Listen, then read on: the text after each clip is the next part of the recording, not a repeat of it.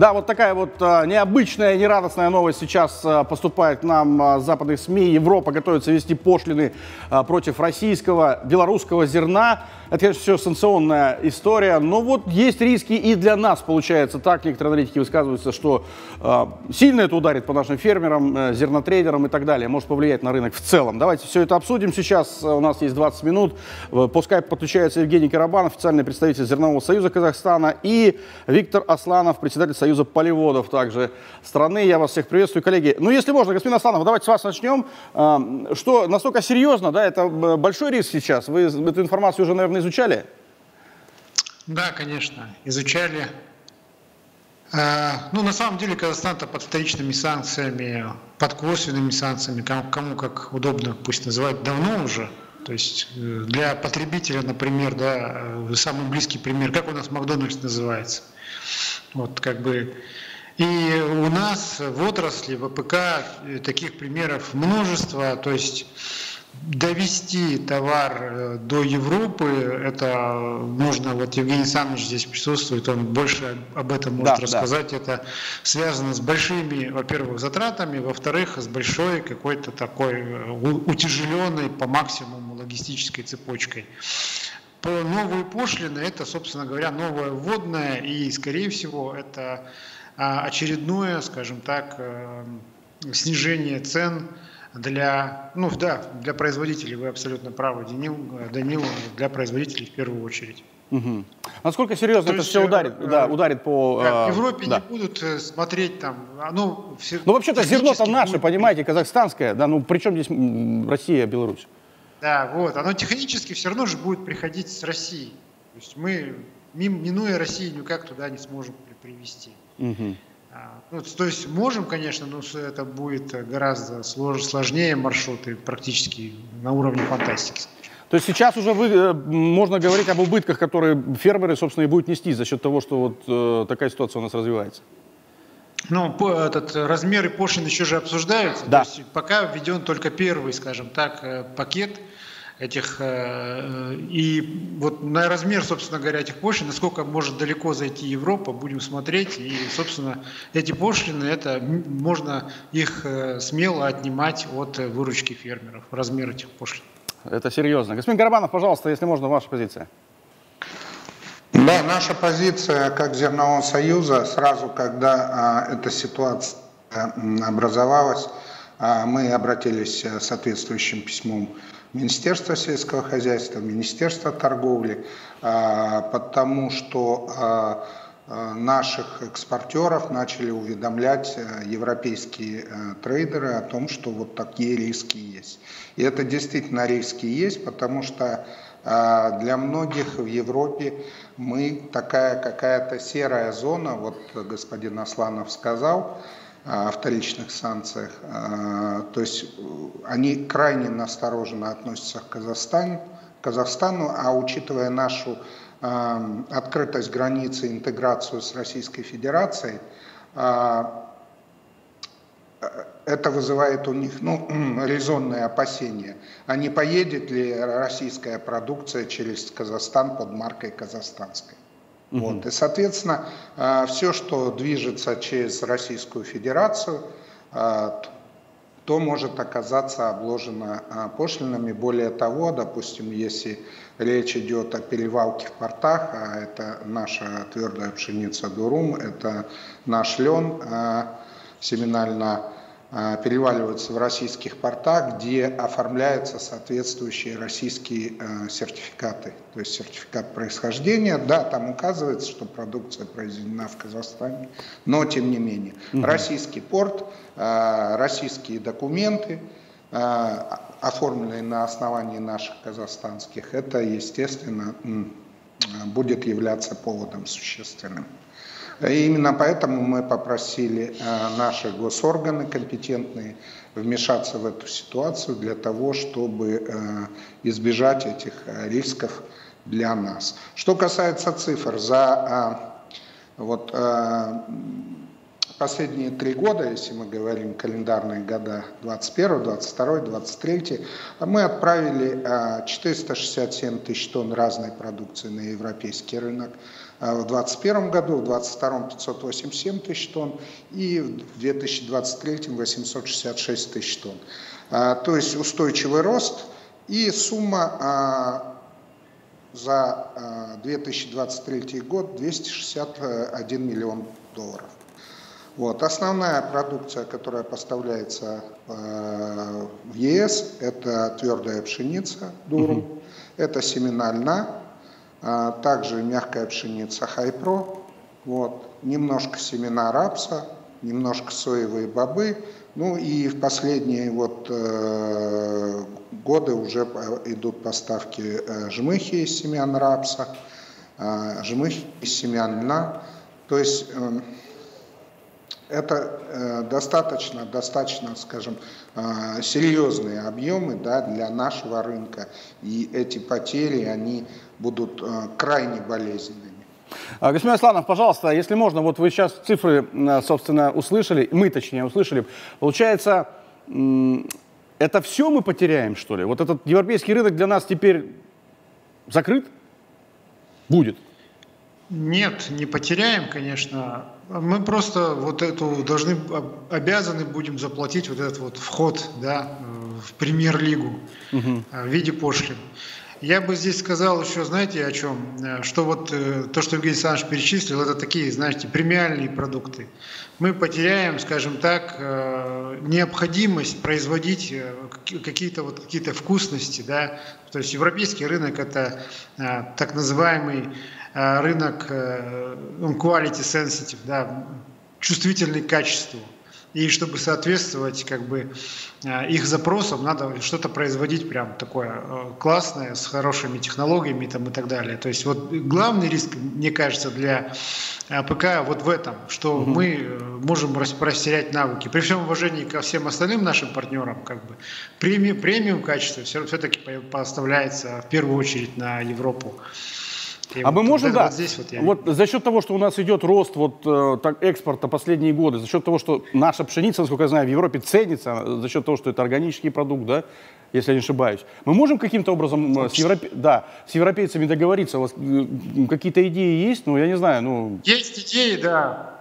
Нужно, во-первых, проводить серию консультаций, да, вот о чем Зерновой союз предлагал. Это должна быть серия консультаций с европейской, с Евросоюзом, Э, наших, там, в первую очередь, Министерства торговли, они должны этим заниматься. И, э, скорее всего, как я думаю, и э, Евгений Александрович наверняка согласится, европейцы потребуют более четких цифр по нашему взаимному, взаимной торговле, то есть РФ, Казахстан. А у нас их нет, к сожалению. Вот как. Мы, мы почему-то ими как бы очень слабо занимались. Мы как бы установили, что у нас свободный рынок, свободный про этот, эм, э, доступ товаров, про пересечение границы свободных товаров. И как бы на этом остановились. Но знать, сколько товаров мы обязаны пересекать в ту или иную сторону. И европейцы, конечно же, нам на это укажут. Угу. Интересно. У вас какая перспектива, господин Карманов, что вы сейчас видите? Мы попробовали получить комментарии у Министерства торговли, у Министерства сельского хозяйства, они пока молчат. А, позиция правительства нашего должна здесь быть высказана или нет?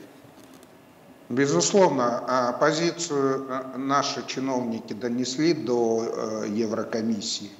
Сейчас будут консультации, насколько я знаю, вот в ближайшее буквально время в Литве будут консультации – по этому вопросу. Э, был задан ряд вопросов. В первую очередь их интересовали возможности альтернативных наших маршрутов по Срединному Каспийскому коридору, вот, так называемому. Вот. Но а, там очень слабая инфраструктура и очень дорого получится. Угу. То есть получится ну, то же самое практически, что и пошлины, и плюс Э, абсолютно неразвитая инфраструктура в грузинских портах Поти, Батуми, э, достаточно серьезные проблемы с транспортировка через Каспий, то есть это зависимость от навигации, это двойные перегрузки, это Э, дополнительные перевалки, это и потери, и затраты, и возможность ухудшения качества зерна. Вот, то есть э, у нас по большому счету альтернативного маршрута как такового нету, и именно поэтому мы говорим о том, что необходимо отстаивать наши интересы. Вполне возможно, что Еврокомиссия потребует каких-то гарантий, каких-то, я не знаю, механизмов да, для того, чтобы российская продукция под маркой казахстанской не попадала на этот рынок. И ну, мы понятно. опять упираемся на... в то, что на каждом, на каждом зерне печать не поставишь, да? То, о чем мы говорили, то есть необходима система а, госучета прослеживаемости движения продукции. Вот, вот и все. То есть, а мы ее до сих пор не создали. То есть мы опять уперлись. Если бы она была, мы бы могли сказать, нет, у нас все четко, у нас все чисто, мы весь импорт видим, мы весь экспорт видим, мы видим, э, что у нас производится, мы видим, что у нас завозится и так далее.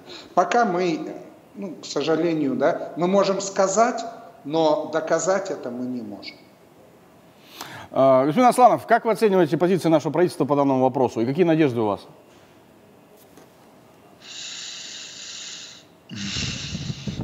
Трудный вопрос, да? Сложновато. Сложновато. Я же не правительство. Что вы ждете от Будем нашего правительства? Что слышаны, да, что ну хорошо, расскажите, да, скажите, как это повлияет на фермера. Да. Давайте проще. Как это повлияет на фермера? Вот э, э, есть там перспективный рынок, экспорт рост, тут бабах э, сейчас пошлины вводят и всех под одну гребенку. Вот такая перспектива. Вот как это повлияет на отдельного фермера, на рынок повлияет, на цены как повлияет? Ну, приведите пример. В цифрах, что это значит? Там фермер что потеряет? Бюджет, площади сократит, еще что-то. А, площади возможно, да, мы сократим, потому что сокращается спрос. Ну, не знаю, вот э, сколько у нас, сейчас у нас выровнялось, что лен, да, это основная, скажем так, экспортная позиция на Европу. А, мы 50-50 его отправляем, то есть половина в Европу, ну, условно, да, половина в Китай. Ну и вот, собственно, половина нашего экспорта льна, половина нашего производства, половина нашего площадей остаются под таким вот а, большим вопросом. Угу. То есть если это будет, там, скажем, э, грозились да, 95 евро да, вменить пошлину, 95 евро, с учетом того, что мы экспорт уже дорогой отправляем, все эти перевалки, да, все эти уходы там, от этих санкций там, и так далее, мы уже с большим дисконтом лен отправляем в ЕС. То есть у нас уже дешевле. А Китай, да, второй партнер, он смотрит на это и понимает, что ни нам, там, ни Европе, ни Европе некуда деваться, и цены диктует уже исходя из а, того, что у нас получилось с Европой. То есть mm-hmm. вот, этого, вот эта конкуренция уже ломается, и, соответственно, э, тут нельзя сказать, что мы станем меньше сеять, мы станем меньше, э, дешевле продавать и туда, и туда. Китай тоже как бы... Мы не можем этот объем перенаправить в другое, в другое русло? Другие рынки. А куда? Все это. У нас два основных импортера льна вообще в мире. Это вот Европа и Китай. Больше особо его никто, ну, по чуть-чуть совсем берет. Mm. Да, пожалуйста, если можно, Казмин Громов. Мы завершаем, у нас 4 минуты осталось. Да, да, абсолютно, абсолютно верно. Только я хотел бы поправить, 95 евро это на э, твердую пшеницу пошлина обсуждается, а на семена обсуждается вообще на масличный до 50% от таможенной стоимости. Поэтапно. То есть первый год 10%, второй год 25% и третий год 50%. Почему поэтапно? Потому что сильно чувствительна Европа к семенам льна, и если разом ввести такую пошлину, то европейская продукция, они прекрасно понимают, будет неконкурентоспособна относительно там, китайской, э, канадской продукции и так далее. Именно поэтому они поэтапно в надежде, что эм, скажем, другие игроки да, начнут сеять. Вот то, о чем Виктор Сергеевич сказал. То есть мы просто э, два варианта, да, либо нам Дешевле его продавать, либо мы перестанем производить лен и будут производить другие игроки. А сколько Канада, мы говорили о том, что надо, надо нам диверсифицировать посевы, что не только там рис, не только пшеница, нам надо что-то другое. И теперь вот такой удар, да, поддых, что называется. Да, интересная ситуация складывается. Что пишут? Смотрите, э, если э, все останется в стране, это хорошо, у нас на рынке упадут цены. Такое есть комментарий. Так, мне кажется, введение импортных пошлин на зерно из Казахстана может негативно отразиться на ценах продуктов в Европе. Ну, Европа, понятно. Далее, нужно учитывать экологические аспекты производства зерна, однако необходимо вести тщательный анализ последствий принятого решения. Что-то прокомментируете, да, и сказано. Вот, кстати, по, по внутреннему рынку.